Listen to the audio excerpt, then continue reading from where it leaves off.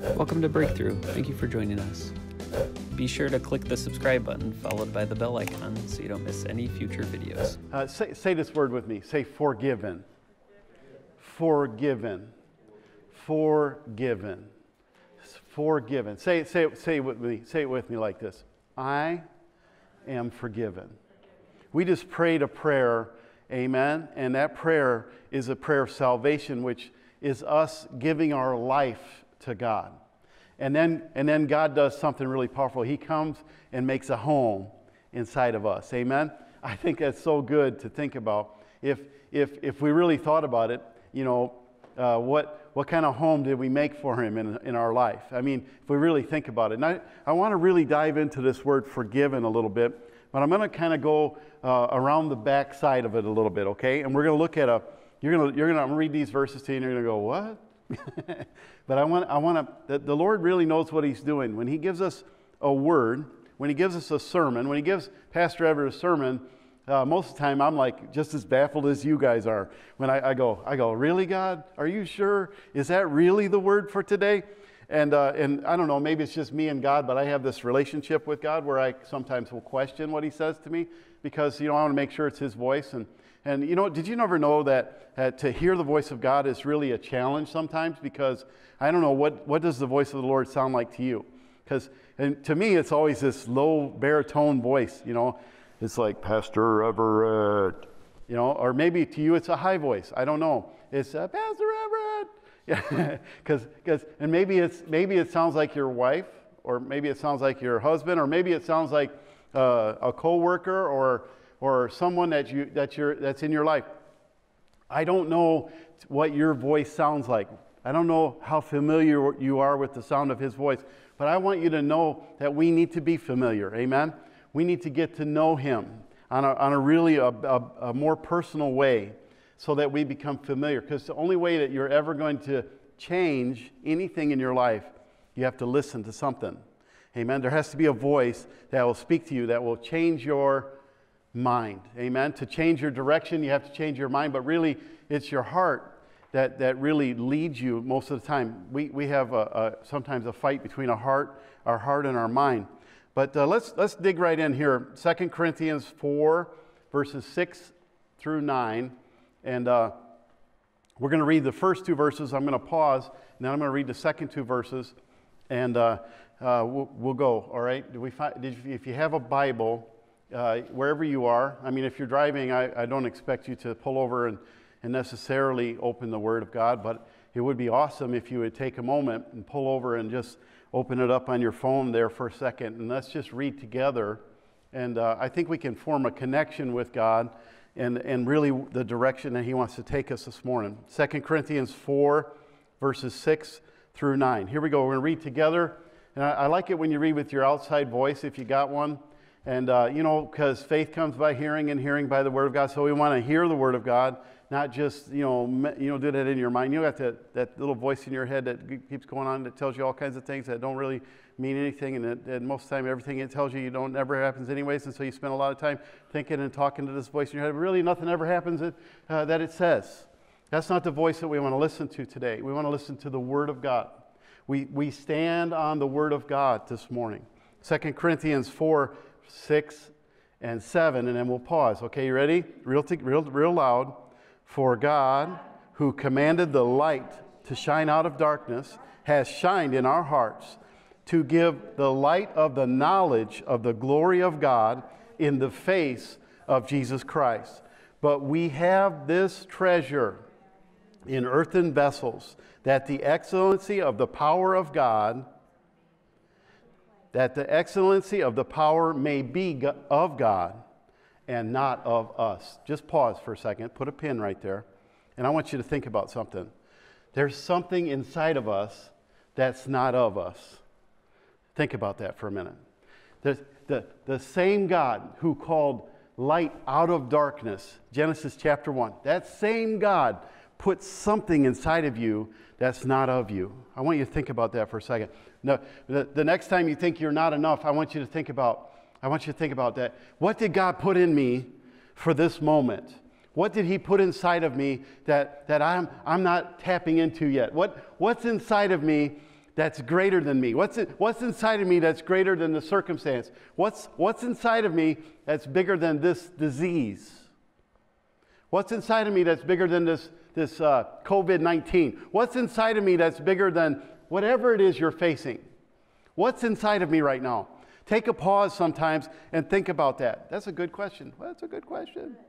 That's a really good question because often we're full of questions but no answers. But I'm going to tell you the answer to the question is already in you. Amen. If you're saved and filled with the Holy Spirit, the answer is inside of you. Amen. There's an answer inside of us. Let me just say another statement, okay? What's inside of you doesn't look like what's outside of you. Come on. what's inside of you doesn't look like what's outside of you. What a beautiful name it is the name of Jesus. You know, uh, what's outside of you might look ugly, but He's beautiful inside of us. Amen. What, what's outside of you might be depressing, but what's inside of you has given you the victory. Amen. We have the victory. Amen. This morning. Let me keep, keep going. Verse 8. Okay, ready? Verse 8 together. We are troubled on every side, yet not distressed. We are perplexed but not in despair, persecuted, but not forsaken, cast down, but not destroyed. Cast down, but not destroyed. I want you to think about those two verses right there. Uh, those two verses talk about the differences between what's in us and what's out of us. What's in us and what's out of us. There's, there should be a difference between what's in you and what's outside of you. Amen? Let me, let me just pray for you for a moment. Father, in Jesus' name, I just pray right now that you touch us from the top of our head to the sole of our feet. Father, that you would uh, enlighten, that, the, the, the, that, that our understanding would be open, that you'd give us wisdom, that you'd give us courage, Father, to not just hear the word, Father, but let the word into our heart so that we might uh, be changed, Lord, so that we might go out into the world, that we might go back home to our relationships, that we might, might, might go to work and be different and be changed, Father. Lord, that we would not be cast down and left there and forsaken. Father, but we would, we would remember that the strength we have comes from you and you alone. Thank you, Father, for that. In Jesus' name, amen. amen. Say this word forgiven with me. Forgiven. Forgiven. You know, we all have a need to justify ourselves. Did you ever notice that?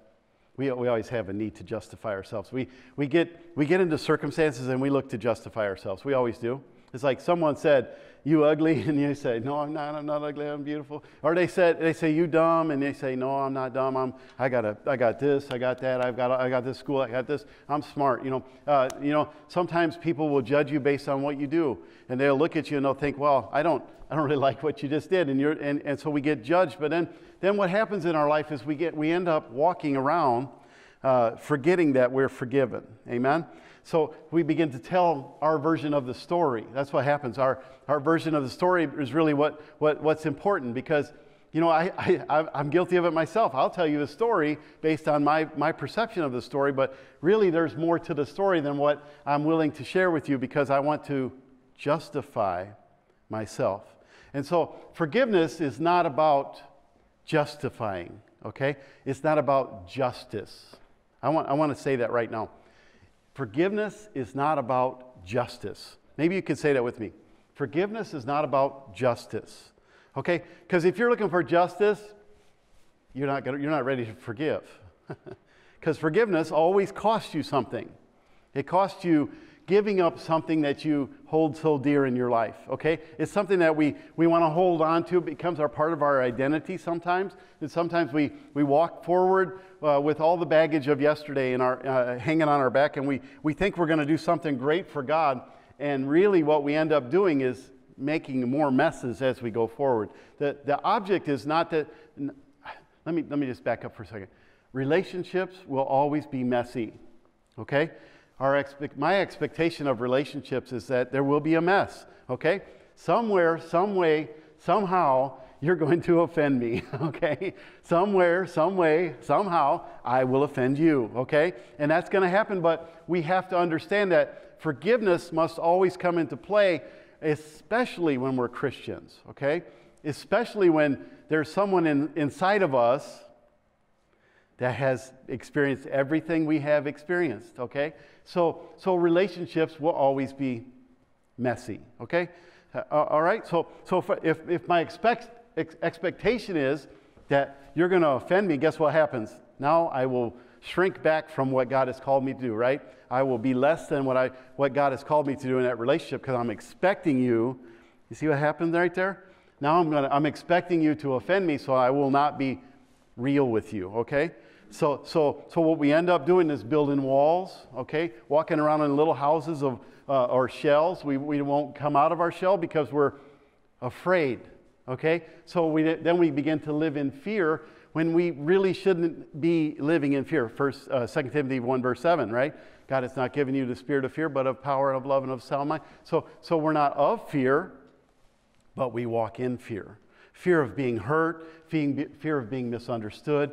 We have these fears inside of us which hold us back from being really, truly forgiven. Forgiven. Forgiven. Forgiven should be our identity. Forgiven should be, be who we are as people. Amen? I'm forgiven indeed. I, I, I got I to stop here for a second, and I, I don't want to go too fast, but forgiven indeed. Indeed, the word indeed really just means that what I do demonstrates who I am. Amen? So, so if you're looking for me to be forgiven indeed, I, I means I'm going to walk around without fear without remorse, re- without regret. I'm, I'm going to walk around like, brand, like, like it's a brand new day. Like I can smile today because I don't have to worry about what happened yesterday. Oh, that sounds really good, Pastor Everett. Uh, see, it looks to me like, uh, Pastor Everett, you're too young because you don't, haven't been through everything I've been through. But I'm going to tell you something. I'm, I'm almost 55 years old. Not quite yet. I'm not going to quite be there. I'm six months from it. But I'm going to tell you this I have been through some stuff. I have been through some stuff. And, and my stuff and your stuff, let's, let's just have a, let's have a contest. Who's got the worst stuff? Okay? Because that's what we want to do. We want to we want to compare stuff. And that's how we, we choose friends most of the time. We choose friends based on our experiences of what has been in our life. And so we feel comfortable because they align with my pain. They align with my pain. So then I, I have friends that are in the same kind of pain we are, and we just get together and have a party. Amen. But we don't really ever, ever overcome anything because we don't, are not walking out the power that is in us. I serve a God who, who is alive today. My God is not dead. He didn't go into a grave somewhere and just stay there. He got up out of graves. And that means that I should be able to get up out of whatever circumstance that I'm, I'm in and walk like I'm forgiven. I need to walk different. See, why does it matter so much, Pastor Everett? Why does it matter so much that I, that I really walk out and live out forgiven in my life? Why does it matter? I'm going to tell you why it matters. It matters because you have, you have, think about your hope. Just think about hope. Hope for the future. What does your hope for future look like? It doesn't look like it's supposed to look because it's held back because of a shell, because of a, a restraint, because of a chain that holds me back, won't let me go forward as, and, and be what I've really, God has really called me to be because I'm held back. I'm held back not by God. I'm held back by my inability to allow God to be God in my life. My hope, my source, the, my, my, my power, my power doesn't come uh, from, from a past experience. God is greater. I, I, love, I love David. I, I, I, I love David. David, David went down to, to visit his brothers in the army, okay? He was just on a, on, a, on a little errand from his dad, and he went down and, and he heard this, this giant whose name was Goliath. He said, he said, you know, and David said, Who is this uncircumcised Philistine that defies the armies of God? Who is this guy? And, and everybody else was in fear. Not David. David was like, Who is this guy? Who does he think he is? And, and David did not look to the giant as a problem. He looked to his past at what God had delivered him from. And then he ran towards the problem and he didn't just kill the problem, knock it down. He didn't just knock down Goliath. He took his own sword, cut his own head off with his own sword, and he held the head up. I think it's gross when you think about it. Here's David holding up the head of the giant, but that's what, that's what it takes. That's what victory looks like. Victory looks like not knocking down stuff in your life, but going over to it, cutting its head off, and taking it forward and saying, God delivered me from the, from the hand of this uncircumcised Philistine. He can deliver me from this. He, he's bigger than this thing. And see, see, that's what victory should look like in, a, in the life of a Christian. Someone who is saved and born again, delivered and set free, ought to be living like they're forgiven. Not, not, just, not just saying it. See, it's not words on a page that we read today, it's life changing words. Amen? Amen? Events are life changing, but the word is greater. Jesus is the word made flesh, by the way. Amen? He's the word made flesh. God can move, let, let me just say it like this God can move in your life to the degree that you have experienced forgiveness.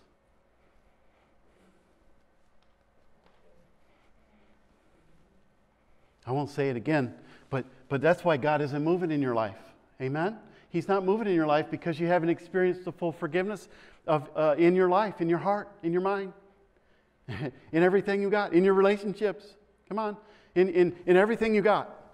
Luke 7, there's a story.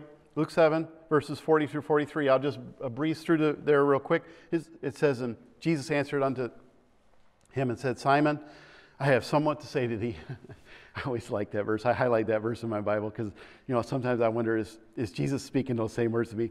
Pastor Everett, maybe he's saying, yo, dummy, I have someone to say unto thee. Yo, yo, yo, listen to me. I have someone to say unto you. Because sometimes, you know, Jesus is speaking to us, but we don't hear his voice because we're not listening to his voice indeed.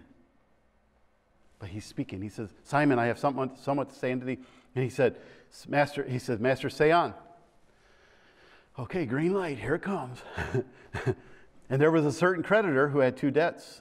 The one owed a 500 pence and the other 50. And when they had nothing to pay, he frankly forgave them both. Tell me, here's a question for you. Tell me, therefore, which of them will love him the most? And Simon answered and said, I suppose he did whom to whom he forgave the most. And he said unto him, Thou hast rightly judged. Good judgment, Peter. Many other people were sitting at the table that day, but there was only one woman at the feet of Jesus who was crying tears and washing, wiping him with, his, with her hair. There was only one woman there. And, and, and I think a lot of us come to church, we come to the table, we come, we come into the presence of God, and we leave out the same way we came in. We don't, we don't really experience the presence of God. We don't fully get what God is trying to do in our life and you're only going to get there through forgiveness. Maybe we could just say that together. Thank you, Lord, for forgiving me. Thank you, Lord, for, for what you have done in my life. I am so grateful, God, to you. I owe my to you. I owe to, I owe to you. I, I, I, you know, I, one time when I, uh, it was quite a while ago, I used to be a youth pastor, and there was a, uh, I had a service, and I had some uh, kids in the room, and I had to l- turn the lights down. And, you know, we had uh, actually had a lighter and uh, some candles and open flames in the church, and so I was hoping nobody would notice it. But I and I had a plate underneath the candle, and I, I, uh, I had two candles, one that I lit and one that I didn't light. And I had somebody stand here in front, and I had them uh, run to the back and run to the back. We, we had a timer and a stopwatch, and so we timed how long it took for the person to get to the back of the church and back to the, back to the altar. And, uh, and, then, and then we lit the candle on the other one, and I said, okay, do the same thing. And, and he went that, halfway back and it, it, blew back out. So I said, if the candle blows out, you got to come back and relight the candle. And so yeah, I think it was the second trip or something that he finally did it. But did you know that he couldn't walk as fast back to the back and back to the altar because of the flame that was in him? He was, he was, he was distracted. The first guy had no distractions. He just went on and up and back. The, the second one had to go slower because of the flame that was inside. So he was, he was more conscious of the steps he was taking and of the wind and of the surroundings around him. So, you know, people, some people were trying to blow it out on the way by, you know, trying to help, help, help their brother out. And, and, but, but, but the difference between running back and forth, running to and fro, coming in and out of the church is our ability to be conscious of the flame that is in us and that is in here. Amen? When we come together, our, our light gets brighter. You know, two, two candles come together, it's, I think, three times or 10 times brighter. I think it's, it's, I think it's almost 10 times brighter.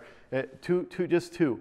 If two or three would, would agree as touching anything, greater things would happen in the world.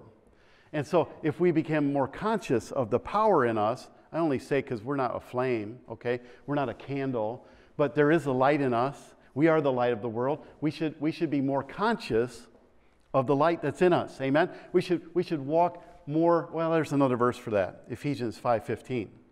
It says, Paul uses this word. I won't read it all. It says, uh, Paul says, Ephesians 5, verse 15, he says, See then that you walk circumspectly. We don't really say that kind of word anymore, but you know what it means? Careful. Be cautious of the steps you take. Make sure that God is in the step. When you step forward into whatever it is God is calling you to, make sure that He's with you. Amen? He's going with me. Amen? Because, see, now, now I'm not alone. Now I know that, that He's with me. Amen? I know that I can walk cautiously this morning. Amen? Uh, con- conscious not of, not, not of my sin. See, this is where we get it mixed up. We think that we got to be conscious that I'm a sinner. The answer to that question is not that I'm conscious of what I did, it's conscious of whose I am. I am forgiven. Say it with me again. I am forgiven. I'm forgiven. I'm forgiven. That gives me the power to walk. Amen? Power to walk. Amen? I can walk differently, but cautiously. Okay? All right? I want to know that when I step here, God is here. Amen? I want to know that when I come to this church building, that God is with me here. Amen. When we worship together, we're worshiping the same God. We're not worshiping different gods. There's only one real God, okay? There's a lot of gods, but I want to worship God. G, big G, God. The one who created heaven and earth. The one who spoke light out of darkness and put something inside of me. We just read that, right? He's, he's the God that, that spoke light out of darkness. He said, Let there be light. There was no light it was all dark, void, and no shape was around anything. He spoke that out. He spoke into existence. Pastor Everett, I stand here because He spoke me out of darkness. He created me, He positioned me perfectly. Amen? For this moment. I walk with gratefulness for the sacrifice for my freedom. I walk in love.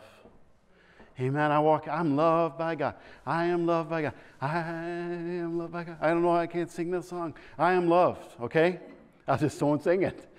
I'm loved, though, okay? I don't know, maybe you can't sing or maybe you can't sing, but you're loved. Amen. Walk like it. I was driving home the other day and uh, I, was, I got behind a truck. I don't know what kind of truck it was. I don't, I don't know who, who it was, but it said, it said it was a, a, a semi, it was a box truck, and it said, it said, it said, anywhere, anything, anytime. That's what it said. And I said to myself, I said, that's a message. That's a message. And it's not about delivering stuff, but maybe it is. Maybe I should be thinking anywhere, anytime. Come on. Maybe I should be thinking about I'm delivering something anywhere anytime, anything. I'm, I'm delivering something, and I, I just wonder if, if, if, if, if we were Christians and we're delivering stuff to the world that so desperately needs an answer, what is the package that you're taking to them? See, most of us are doing nothing, nowhere, and never and we're asking God to bless it.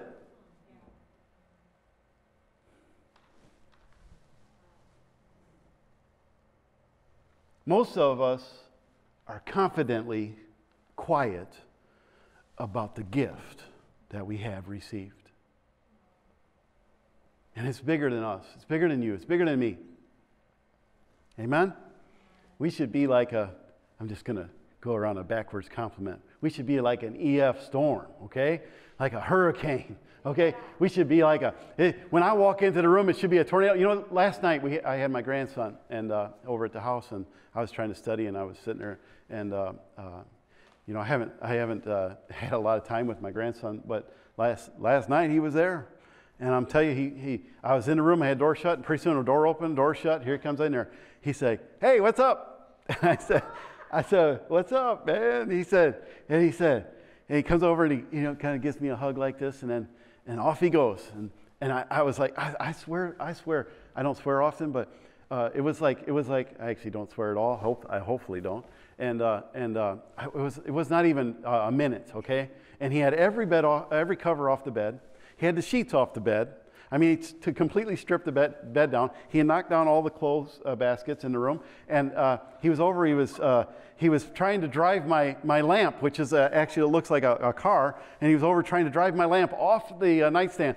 And I was like, I was like, hey, you're a terrorist.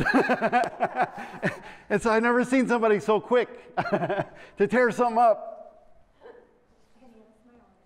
And he was having a blast.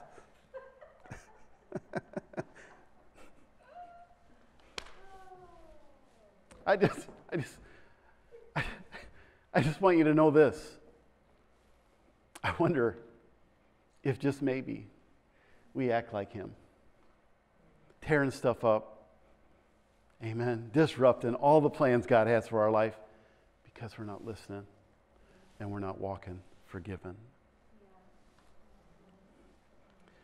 I guess this is a great question. Are you afraid to rise? Are you afraid to rise to the challenge that God has placed before you? Or are you just content to stay where you are? The choice is really not mine. I, I, can't make that choice for you. I can't, I can't make you get hungry for the Word of God. I can't make you read your Bible. I can't make you pray. I can't make you come to church. I can't make you lift your hands and worship. That's not my job. My job is not to be uh, uh, the, the guy with the whip. You know, don't wear your skirt like that. Put your hair up. Don't, don't, uh, that's not my job. My job is not to tell you what to do. My job is to deliver a message to you. That's what God called me to do. And, and, and so if I'm going to go with you, I, I can go with you because I'm on, online. You know, you can take the phone and I go home with you and I can keep preaching to you all the time if you need me to. But I want to say this you must decide what you're going to do with what God has done for you. And only you can decide that. I cannot decide that. I, am not a micromanager. God didn't put me here to, to drive myself insane by, by everything that you do in your life and everything you think. That's not my job. I'm not here for that reason. I'm actually only 23 years old, but I've been a pastor for a year. No, I'm just kidding. See these wrinkles? I was getting my hair cut the other day, and the lady holding up the mirror, and I said, Where'd them wrinkles come from? And I said, I said, they're not there. That's what I said. They're not there. I said, but they weren't there when I before I met JoAnn, so maybe it's just from her. And so I don't I, I don't know where the wrinkles come from. I don't know where time goes, but I don't, I don't want to let another day go by. Another day go by that I don't walk in power. Amen. Amen. Amen. Transition comes into our life through the power that we place in the faith that we have in the gift that God gave us.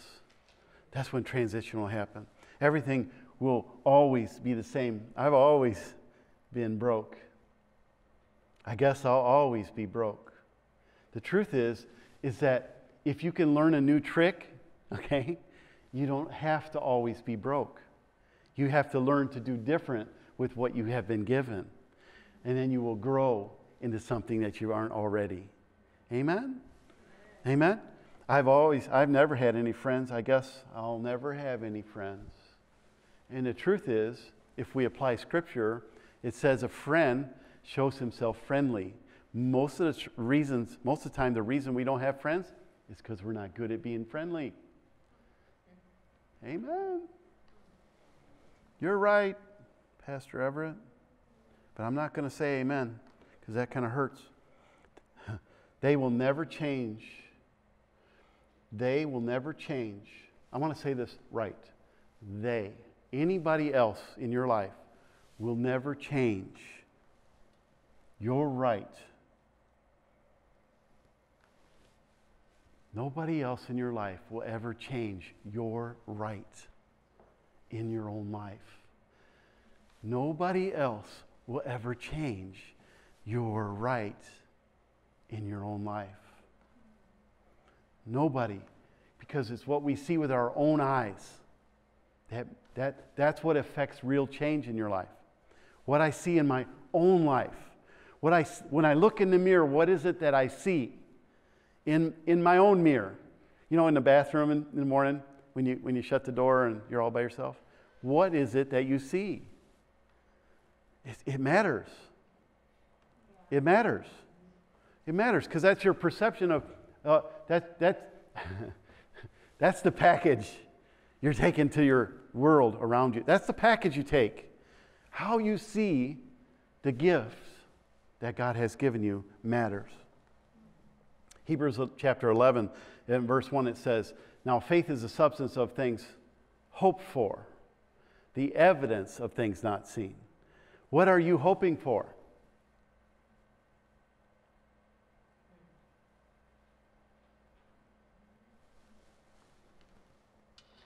What are you hoping for? Because you you you probably already have it.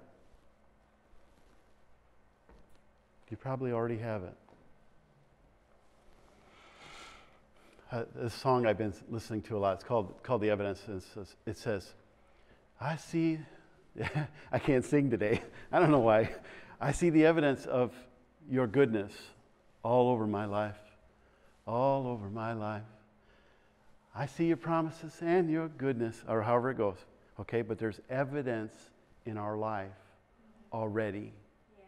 If we would study the evidence in, that's already exists in our life, we could answer some questions. Maybe we could sit together, wherever you are, okay? Maybe we could sit down. I, I wish I had a, a, bed. I mean, I could lay down right here and, and it, we could just talk, okay? What evidence are you presenting? What, what, what is your thing? Uh, uh, Philippians chapter 2, I'm, I'm going to go quicker, okay? I promise. Philippians chapter 2, verses 12 through 14, Paul talks about, he says in verse, verse 12, he says, uh, I, am not going to read all the, all the verses, I don't have the time, but it's, Paul says, work out your own salvation. Work out your own salvation. Work out your own salvation. Did you know working out is always hard? like you got no, nobody wants to go to the gym. Some people do, but they're they're they're just weird. But other most people, I, I drive by the gym every night on the way home from work, right on by it. But but if I go to work out, it's a struggle, right? So I don't go to the gym thinking I'm not going to struggle. I mean, some people do. Yeah, I don't know. They're they're weird too. But but if you're there at the gym, you ought to work out, struggle. Okay? And so, so if life is a gym, okay, and you're struggling a little bit, work it out. Work it out. Work it out. I, I, I, I don't even know how I can say this any, any, any better. Start working it out. Paul says, work out your own salvation with fear and trembling, is what he says. He said, he said, you got to, you got to, I, I, mean, I don't know, I've been in some circumstances in my life and I've been afraid. I, I sit at the table on this side and there are eight or 10 people on the other side and they got all the power, they got all the power and they, walk, they look at me and they say, it's just you? That's when I had them because I know they think I, I'm less than who God created me to be. God created me for this circumstance. He brought me to this moment. And you know what? He will deliver me from you. Amen? No matter what it is in your life, there's always going to be an obstacle. Don't let it be yourself. Don't let it be yourself. God has given you everything you need to be everything you need to be in the world around you. You are the gift for the moment. I don't know, maybe you should just do that with me every morning. Just look yourself straight in the eye and say, you know what, I'm a gift. I'm a gift. And I'm gifted.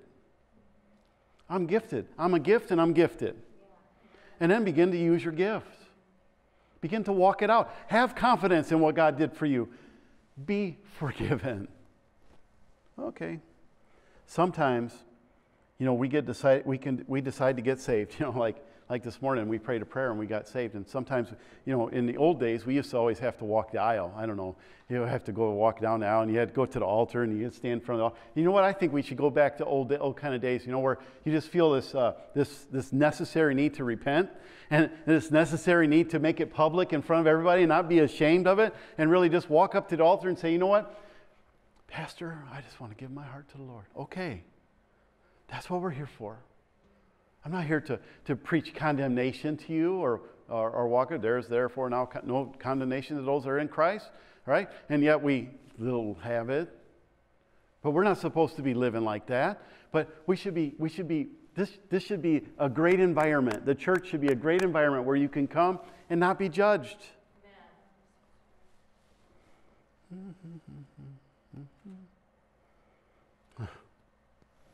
like we can decide to be healed from a past hurt or even forgive a past, for, a, a, a past offense. Like, like I can decide to walk down the, to the altar. I can show you scriptures that you didn't choose God. You, you didn't choose God. God chose you. I can give you scriptures like that, but you come forward, you make a decision, and you walk out and live like you didn't make a decision. Like we can decide to be healed from a past hurt. Like we can decide to forgive a past offense. Like we can decide. Okay. We don't seem to follow through with our decisions most of the time. Did you know that? Because we won't hold ourselves accountable. We won't hold ourselves accountable because we don't like accountability. So, saying and doing are really just two different things, aren't they? Right? Working it out is a process. Working it out is a process. Working out your salvation is a process. This thought, this thought really makes me, makes me wonder do I, do I speak the word out from, from words that I have heard inside? Or do I speak out what I have heard from outside? Very, very, very good question, Pastor Ever. That's a good question. You know, it's the little things uh, in life. Uh, we celebrate all the big things, but we forget that there's the little things in life that, that, that really, life is made up of little things, really is. It, it, it's, it's like when we were, we were at uh, Thanksgiving and we were eating food. Uh, the food can look good, but if it doesn't taste good, there's something wrong with it, right? It's the small little ingredients that go into the cake or the pie that make it good, right? It can look good and not be good. That's what we have to get away from as Christians. We are forgiven or not. I want, I want, I, want you to learn to live forgiven out into, into the world. Amen? Forgiveness. You know, I, I used to describe forgiveness as, as let me just, I'll, I'll read you what I wrote. It says, I, I used to describe forgiveness as one person laying down their life literally as a bridge for someone to walk across. That's how I used to describe forgiveness. But, but I think I'm wrong. Because it's not just me laying my life down or you laying your life down so someone can walk all over you. It's when you stand back up and begin to walk again. That's what the definition of forgiveness looks, is and looks like. It's, it's not being walked all over, it's standing up and walking again. You see, see, because you can't stand up and walk again like you've never been hurt because you haven't actually experienced forgiven inside of yourself. So I, I changed my opinion. Hmm. Forgiveness, it, it is really accountability and justice. Okay? But it's not us holding someone else hostage for what they did. Okay? It's us making sure that we're accountable to the one that we offended. We offended Jesus Christ. We, we needed a Savior. And if I really did need a Savior, if I really did offend Him, if I was really out of sorts with Him, and I really came back into relationship with Him, the most important relationship, the first relationship in my life, the one that makes the most sense to me, all of this other stuff matters a little bit less. Paul talks in Romans chapter 4, and I'm, I'm running way out of time. I, I, could, I could talk for almost four hours today.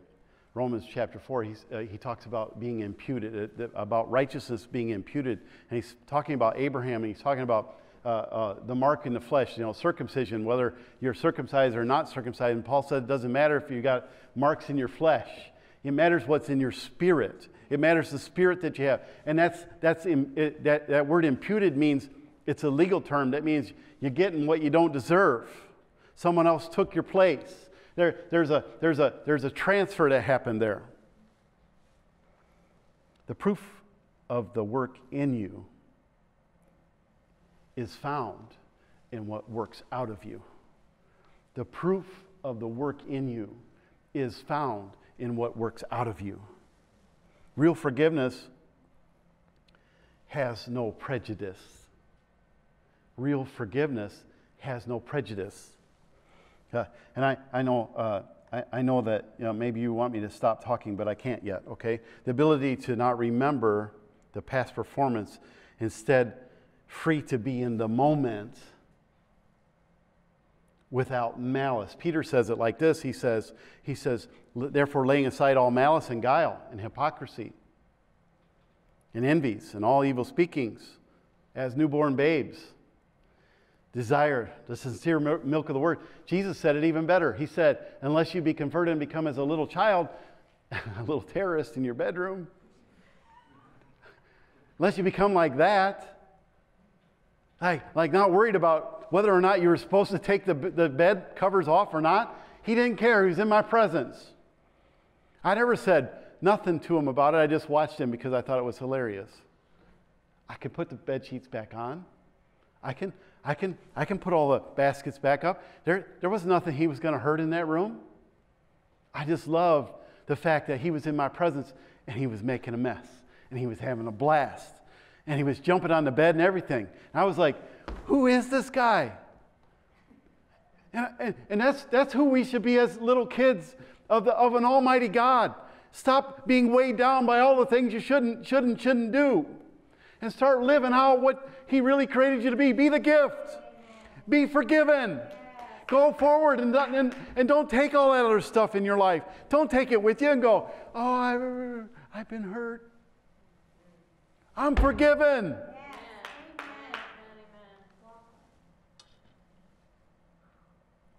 It says in verse 3 in, in Peter, 1 Peter chapter 2, you go look it up, verse 1, verse 2, verse 3.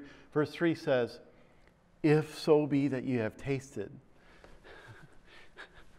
if you've tasted that the Lord is good, if He's gracious, if you just tasted, if you have tasted of the power of forgiveness in your own life, start. Li- so, based on your experience, this is what Peter's saying. I'm just I'm paraphrasing. So, based on your experience with Jesus, who laid down his life, got up and now offers you power to be a son, I lay down all malice and guile and hypocrisy and envy and all evil speakings. Can we say that together? See, based on my experience that I have received from him, if so be that you have tasted and seen that the Lord is gracious, if so be that you have tasted, uh, David says it, Psalms 34, I believe it is, he says, Oh, taste and see that the Lord is good. He's good or he isn't good. Is he really good? Is he the best? Or is that the best thing? It's so negative. I, I just can't let go of it. I just can't. I, and that's what we do. We, we struggle between what's good and what's best. And what, what, what the. I used to say it like this until you're willing to let go of something old, you can never ever receive something new in your life. And that's a decision. And there's a process with every single decision. Amen. Amen, Pastor. How do I know I'm forgiven? Well, it is just not a, it's just a prayer away.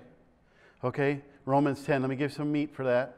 Romans 10, verse 9 says, If thou wilt confess with your mouth Lord Jesus and shalt believe in their, your heart that God raised, hath raised him from the dead, thou shalt be saved. That's a statement. There's no question mark. There's a period right there. There's a period there. That means the door closes, okay? Or all, all, all, all intrepidation, all fear of, of rejection is gone because I am secure in my relationship with Him. This is my decision, yes or no? It's your choice, yes or no? You have a choice to make. Psalms 103, verse 12 through 17, and this is really a lot of, a lot of reading, but I, got to show you the difference, okay? There's a, there's, a, there's a decision we make, but there's a decision that God makes. And I think it's important that I, that I show you the, the, the difference between the decisions, okay? Because there's a decision that I make, yes, And there's a decision that God makes. Yes. Psalms 103, verse 12 through 17, it says, As far as the east is from the west, so far hath he removed my, our, our transgressions from us. Like as a father pitieth his children, so the Lord pitieth them that fear him. He, verse 14, for he knoweth our frame, he remembereth that we are dust. Verse 15, for as a man, his days are as the grass, as the flower of the field, so he flourishes. Verse 16, for the wind passes over it and it is gone, the place thereof shall not be, shall not know it anymore. I think it's, this is powerful. Okay, so my life, gone. Nobody's even going to know I was even here. But there's a decision I need to make. Verse 17, but the mercy of the Lord is from everlasting to everlasting upon them that fear him, and his righteousness unto children's children. Everlasting to everlasting. As far as the east is from the west, so far has God removed our transgressions from us. He remembers that we're a frame, that, that He remembers our frame. He pities us like a father. He pities us like a father, like, like a grandfather looking at a little son, little grandson, tearing his bed up. Okay? He says, That's my boy. That's my boy's boy right there. Woo, I got some expectations. He, he, he, God makes a decision to forgive us, knowing our frame, knowing what I always, I always, I always love this thought. Whenever I come to the altar, or I get on my knees, or I, I drive in my car, and I say, Father, forgive me for my sin. Forgive me what I said just now. Forgive me, uh, uh, forgive me of what I just thought. He, he's faithful and just to forgive us from all unrighteousness, just like I never sinned. Just like it. I am made new. That's his decision over me. Can I be forgiven and not act, and not act like it?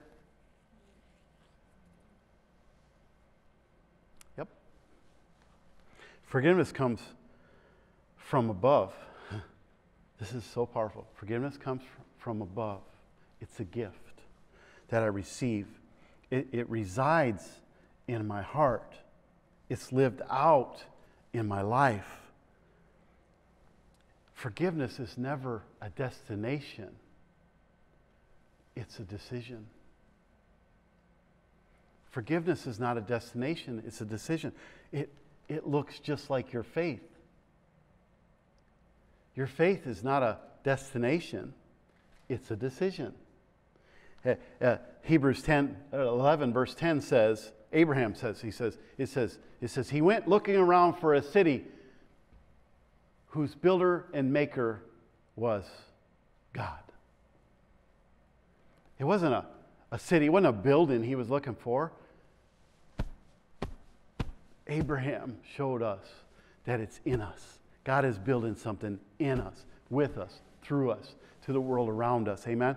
It's, a, it's just like your faith. Just like your faith. Your faith is a decision to choose Christ every moment. Every moment. Work out your own salvation. Every moment. Every minute. Every second. You know, sometimes when we're going through some big trials, we, we begin to look at the big trial. But the only way through the trial is the same way you got in it, moment by moment. Give me the faith Give me the courage, Lord, to go one more minute. Give me the faith, Lord. Give me the courage to go another minute. Uh, give me the faith and the courage, Lord, to, to say what you're trying to tell me to say. Give me the faith and courage, Lord, to listen and then to do what you've called me to do. Give me the faith and courage, Lord, just to, just to, just to take one more step. Just to go one more, one more, one more step. Just to try again. Just to, just to give it a one more attempt. Give it, give it one more try.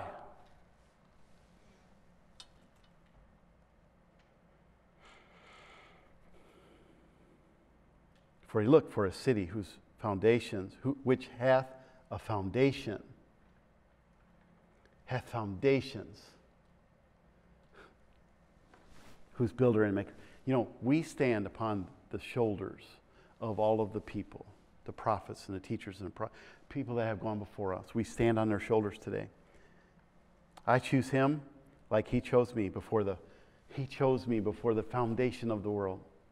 Before anything was here for any mountain, for any, any, any, anything. He chose me then.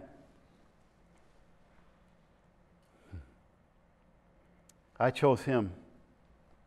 Amen. Do you want to do the math with me, though? Because the evidence in our life equals overflow. there's two songs. I love both those songs. Living in the overflow, but there's evidence that gives you overflow. There's evidence that gives you overflow. Hmm. You know, my name is not Watson, and your name is not Sherlock. But we don't have to go very far to find the evidence. But you do have to look for it, and you do have to listen. What does forgiven look like? For me and in me and from me.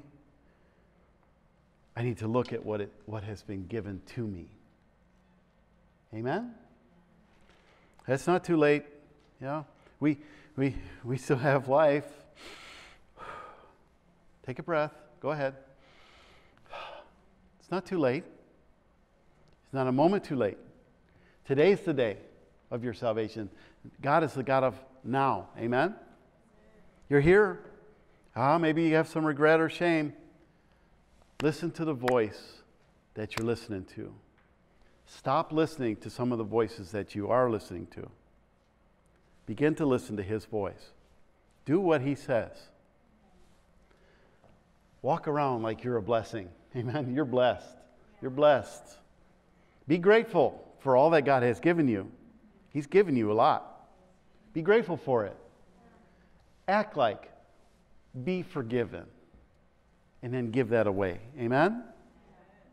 You know, yesterday I was uh, reminded uh, Bible, we have Bible study Saturday morning at 10 a.m., and I want to invite you. It's a really powerful time in the Word of God. And I was uh, just, I was standing in the back, and in the middle of the service, I was reminded of this uh, situation that happened. And uh, there was, I, I, got a phone call one day, and uh, someone was just crying, and, and uh, the, uh, they had just walked into a home, and someone they knew, and they had shot themselves when they walked in. And they called me right, right away, and and uh, was talking to me about, oh, why would this do that? Why would, you know, and we have questions, okay? They, they had questions, and those, those answers to those questions are not things that we can answer immediately, okay? Sometimes it takes a process of time to maybe fully understand or a process or to be able to fully, you know, get it to get to a point where you, you can just accept the outcome of what ha- somebody else's decision. And I, when, when the person hung the phone up, I, I wrote this down and I, I, I read it yesterday and uh, there was someone here that it really touched, actually touched a couple of people that were here yesterday. And I want to read it to you. It's called The Great Transfer. And what happens in our life is we are constantly transferring something to someone. We're, we're attempting to transfer our pain onto someone else. And that, that uh, you can see it in relationships all the time. Someone will see somebody across the room and they're like, hey, you know, and then they're like, hey, and then and then when they come together, uh, often the one will put their arms around the other and just hang on that other person, expecting that person to solve a need that's in them. them. And it, it happens both ways. So, uh, so we have these, this, these transfers that are going on in our life. And if we really can, can begin to see that in our life, we would begin to really just, I'm only saying this because I want you to think about how it is you're living your life how it is you're walking your, your relation, out, out this door into your relationships, whether, whether with your money or with a person or even with your past or with your future.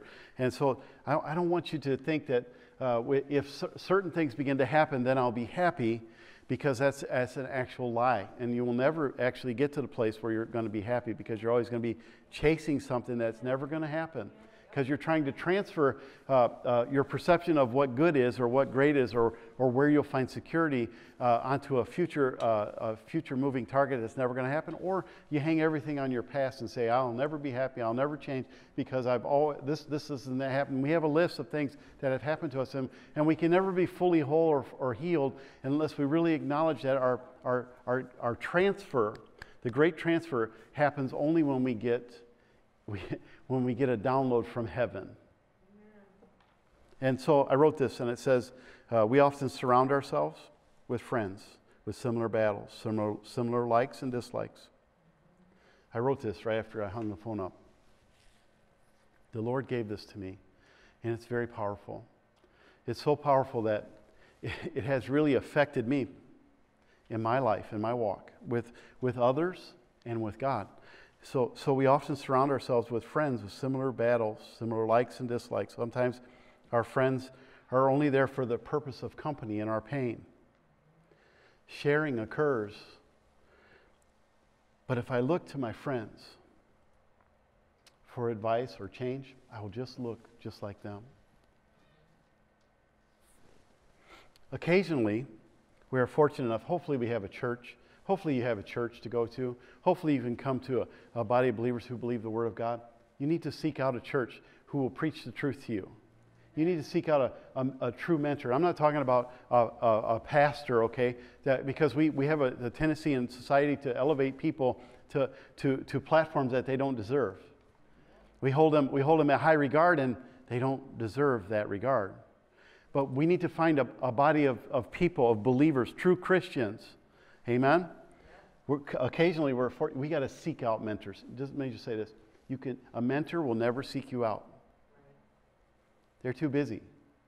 You have to seek out a mentor.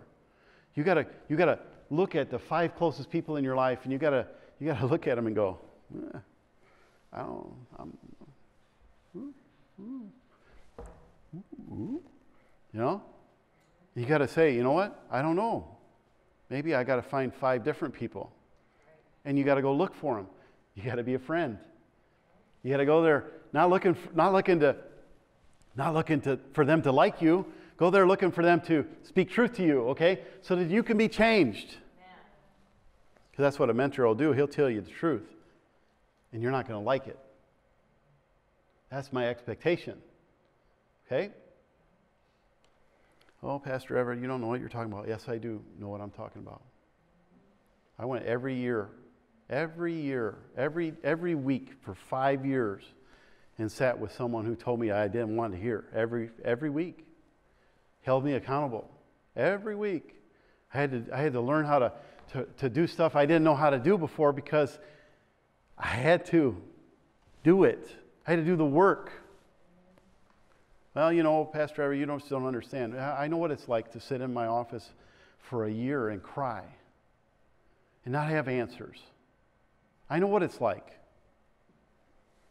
Occasionally, we're fortunate enough to find a, a, friend that is greater than us, someone who will take us under their wing, teach us their wisdom, show us how to be better. We are able to trade with them our inexperience for their experience. If I look to a, to a person, though, the best I can ever hope for is to look like them. Right? I can, I can look just like them. I, but if I look to my past for the answer, I will just repeat. You ever heard that saying, history repeats itself? You ever hear that? You know, I want I'll turn and look this way. How many, how many relationships have you been in? They all look the same. It's the other people's fault, right?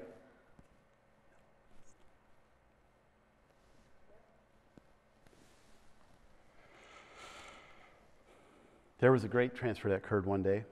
A friend of mine went all the way through death, death on the cross, taking in his body all the ugliness of my sin.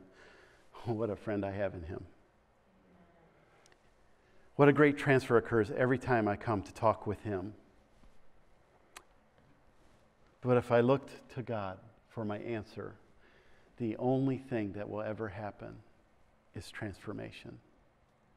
Transformation. Transformation. I trade sorrow for joy, guilt for peace, shame, it's all gone. I feel worthless, but He gives me value. I feel unloved, He reminds me of His great love. We are all attempting to rid ourselves of pain in life by this same method of transfer. It may look like pills, a bottle, a person, work, or money. But Jesus embodies the great transfer for all of us our insecurity for, for security. If you would just stand with me wherever you are in this moment, I just want to I want to pray for you. And we prayed already at the beginning of service to receive the Lord. But I want to I want to do it again. And I want to add a little something to it, okay? Because I believe that God wants to touch your life right now, wherever you are. And so f- let's just pray together. Father, we thank you right now for this moment. We thank you for the Word of God. We thank you for the sacrifice that you made for us.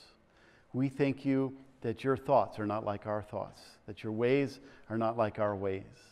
And Father, we, we ask you, fresh and new, God, to come and touch us right now from the top of our head to the sole of our feet. Lord, that we would no longer walk out of this place, out into the next bedroom, out into, the, into whatever relationships that we have in our life, that we would not walk into those relationships with the expectation that they're going to fix us. Lord, I pray that you open our minds, that we become aware of what we do and how we do it and why we do it. Help us, Lord, to make better decisions. Father, James says that all wisdom comes from above. And it's peaceable and easy to be entreated. That means we don't have to have a, a college degree to understand what you're saying. But Lord, we just, I just pray you open our ears and our heart to understand what you're saying. And we're just asking right now, God, give us wisdom. Give us wisdom. And Father, help us to, to not just, not, it's not good enough for us to know what to do, but help us to have the courage, Lord, to do what we're supposed to do. That we would be doers of the word and not just a hearer only. That we would begin to have boldness in our own life. That we can let down things, let go of things, malice and hypocrisy and envy and jealousy. That we can let go of all of those things, Father, and that we could understand that you are enough. You're enough for me. I got the best thing.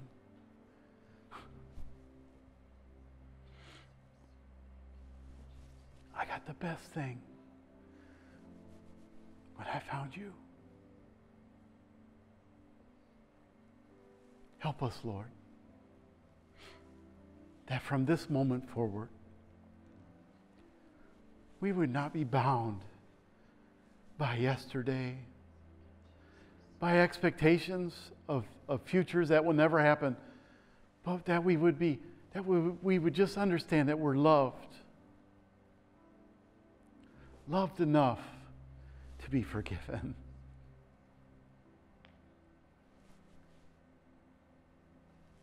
My God loves me enough to forgive me. He transferred forgiveness into my life. Love, real love is in my life. And I thank you, Lord,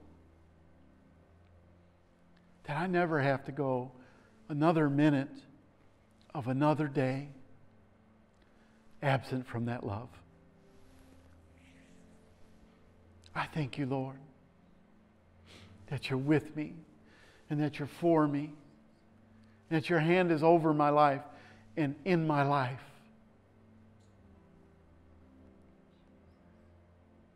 I thank you, Lord, that we can walk indeed out into the world. Because indeed, we are your kids. We are your children. And whatever is going to come our way, does it say, Jeremiah, oh, earth, earth, earth, hear the word of the Lord? That's my child. Get out of the way, world, earth. Get out of the way, earth. Get out of the way, circumstance.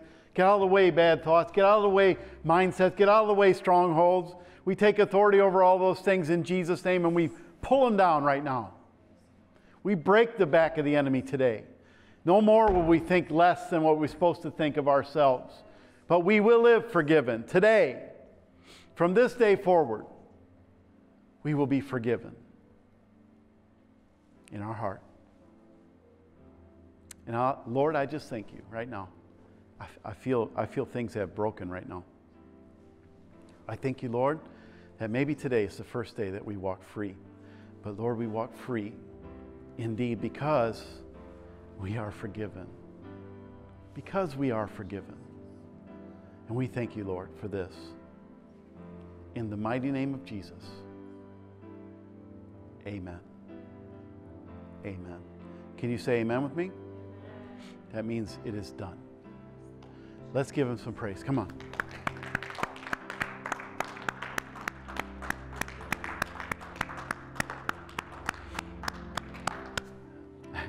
One little thing, homework, okay? Go to the mirror, look in the mirror, and say, I am forgiven. And then celebrate that, okay? Celebrate. Amen? I'm forgiven. And see if, see if that smile don't come back. Amen? See if that joy don't rise in your heart. Amen? God is good. Amen? Amen.